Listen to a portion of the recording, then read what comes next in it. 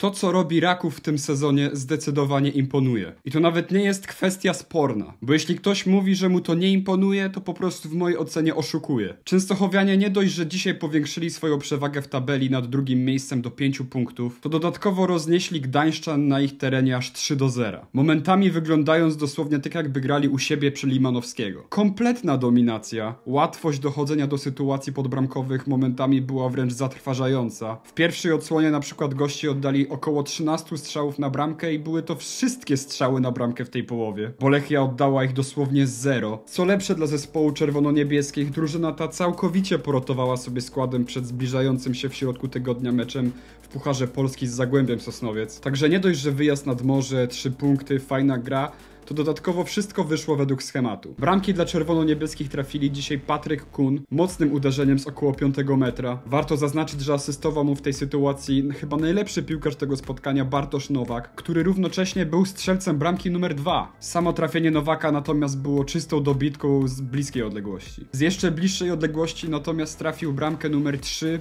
Wdowiak. A asystą Ala Piasecki w tej sytuacji popisał się Sfarnas, który równocześnie mógł w tej drugiej odsłonie podwyższyć stan tego na 4, ale podwyższyć w sumie przez praktycznie całe to spotkanie mógł cały Raków Częstochowa, no może oprócz Kowacewicza, który wręcz momentami zapominałem w tym spotkaniu jak wyglądał, bo nie byliśmy praktycznie pod bramką Częstochowian ani razu. I myślę, że dobrze skwitowali to komentatorzy tego meczu, mówiąc, że mimo że Częstochowianie prowadzili w tym spotkaniu 3-0, to jednak oni byli bliżsi podwyższenia tego prowadzenia niż Lechia trafienia gola na 1 do 3. A to już jest naprawdę bardzo wymowne podsumowanie. Nawet w momencie, gdy przyjezdni spuścili stonu, to i tak byli lepsi od rywala. A mogli to zrobić, bo pozwalała im na to sytuacja na boisku. I tak podsumowując powiem, że dobrze, że jest taki zespół jak Raków. Serio. Ewidentna świeżość w polskiej lidze. Wszyscy wiedzą, co mają robić na boisku w tej drużynie. Dzisiaj dowiedzieliśmy się też, że głównie jest to spowodowane liścikami Marka Papszuna do swoich zawodników w trakcie meczu. Bo nie wiem, czy widzieliście tą sytuację w drugiej odsłonie,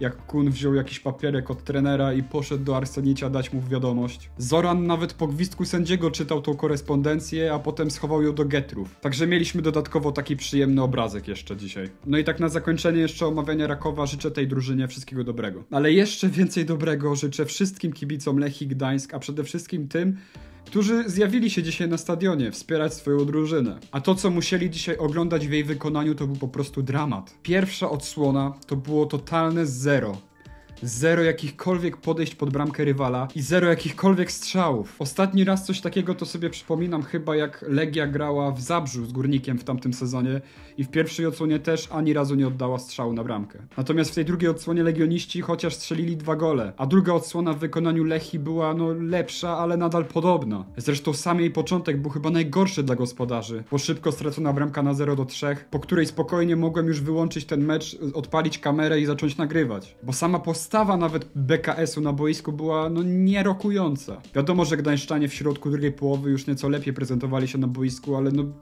nie da się grać chyba całego meczu tak źle, grając przed własnymi kibicami. Także ten lekki zryw nie powinien nikogo tutaj dziwić. I powiem tak, no zaskakująca była trochę ta postawa Lechi, głównie patrząc przez pryzmat tego, że w ostatniej kolejce Gdańszczanie wygrali w Krakowie z Krakowią 1 do 0.